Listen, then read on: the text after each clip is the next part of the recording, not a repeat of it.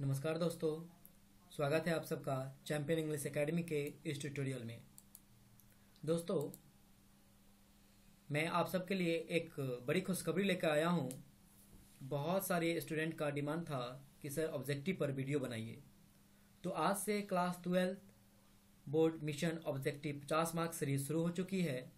अभी तक आपने अगर हमारे चैनल को सब्सक्राइब नहीं किया है तो प्लीज़ रेड कलर का बटन दबा के सब्सक्राइब कर ले और बगल में बेल आइकन है, उसे भी ज़रूर दबाएँ, ताकि हमारी जो अगली वीडियो है, वो आप तक आसानी से पहुँच जाए। तो चलिए शुरुआत करते हैं। आपका पोएट्री सेक्शन का पहला poem sweetest love I don't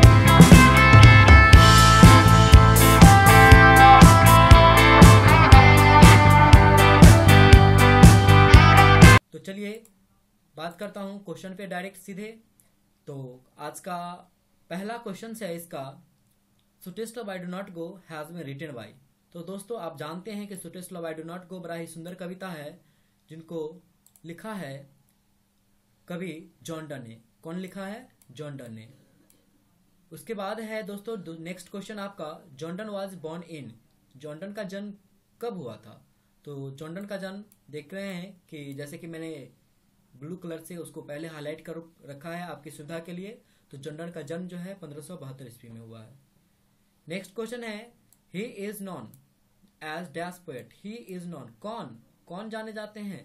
मतलब ही किसके लिए आया? ही यहाँ पे आप जानते हैं कि जॉन्डन के लिए आया। तो जॉन्डन किस रूप में जाने जाते हैं? वो जाने जाते हैं ब्रिटिश कवि के रूप में, चूँकि इनका जन्म इंग्लैंड में हुआ था, अतः वह ब्रिटिश कवि के रूप से जाने जाते हैं।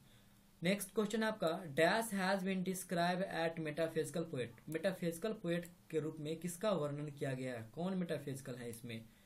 तो यहाँ पे आप जानते हैं कि कौन मेटाफिजिकल पोएट है? जॉन्डन मेटाफिजिकल पोएट है। उसी प्रकार, ये नेक्स्ट भी क्वेश्चन है आपका। John Donne is going to living his wife behind कहाँ जाता है रहने अपनी पत्नी के बिहाइंड में? तो वो जाता है जर्मनी कहाँ जाता है? जर्मनी नेक्स्ट क्वेश्चन है आपका। Dash one, to gladly accept death death को कौन एक्सेप्ट करना चाहता है? तो कौन है? ये है आपके पोएट जॉन्डन नेक्स्ट क्वेश्चन है। आपका John Donne had seen the sitting dash night किस रात में जो सेटिंग सन्स को देख रहा था तो वो है यस्टर यस्टरडे कौन? यस्टरडे ऑप्शन बी जो कि आप देख रहे हैं आपके स्क्रीन से। नेक्स्ट क्वेश्चन है John Donne feels that dash is very hopeless कौन हॉपलेस होता है? तो माय आप जानते हैं कि एक मैन ही है इस दुनिया में जो हॉपलेस होता है। कभी कोई जानवर हॉपलेस नहीं होती, कभी कोई बर्ड हॉपलेस नहीं होता। एंड द नेक्स्ट क्वेश्चन है man power is dash dash dash आप क्या मानेंगे? मैन पावर मामूली होती है, ये बड़ा ही वीक होता है, बड़ा ही फीवल होता है। एंड द नेक्स्ट क्वेश्चन है आपका the poet in sweetest love I do not go dash is beloved अपने प्रेमिका से क्या हुए? तो अपने प्रेमिका से के लिए वो सेड है। क्या है? सेड है।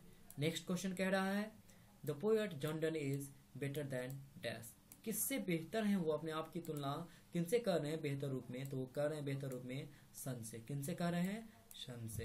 एंड द नेक्स्ट क्वेश्चन है आपका the poet intends to go on a longer journey than किन से? किन से लंबी दूरी की जर्नी पे जाना चाहते हैं? तो वो जाना चाहते हैं सन से लंबी दूरी के जर्नी पे। द नेक्स्ट क्वेश्चन है आपका। क्वेश्चन नंबर थर्टीन कह सकते हैं। John Donne wants to go away because he is not Tide of his किन से? किन से नहीं टाइड्स है? तो वो अपने प्रेमिका से नहीं टाइड्स है। एंड द नेक्स्ट क्वेश्चन है आपका। सेकेंड लास्ट क्वेश्चन है। इस चैप्टर का his beloved says that she has great love for dash किसके लिए उसे अथाह प्रेम है? तो उनको अथाह प्रेम है जॉन्डन के लिए। एंड द लास्ट क्वेश्चन है, इस कविता का जो है John Donne thinks that dash is certain क्या सर्टेन है? तो माय डियर जानते हैं आप कि मृत्यु एक ऐसा सत्य है जो एकदम फिक्स है। होगा ही होगा, अतः इसका आंसर हो जाएगा ए डेथ ये था हमारे आज के इस ऑब्जेक्टिव सीरीज़ का पहला वीडियो आपके पहले पोएम का। हाँ अगर आपने अभी तक हमारे इस चैनल को सब्सक्राइब नहीं किया है तो प्लीज़ सब्सक्राइब कर ले और वीडियो कैसी लगी ये भी हमें बताइए। और हाँ लाइक करना ना भूलें। और यदि आपको लगता है कि किसी आपके फ्रेंड्स को इसकी ज़रूरत है तो प्लीज़ उसके साथ शेयर ज़रूर करें। एंड द अंत में, थैंक्स फॉर वॉचिंग।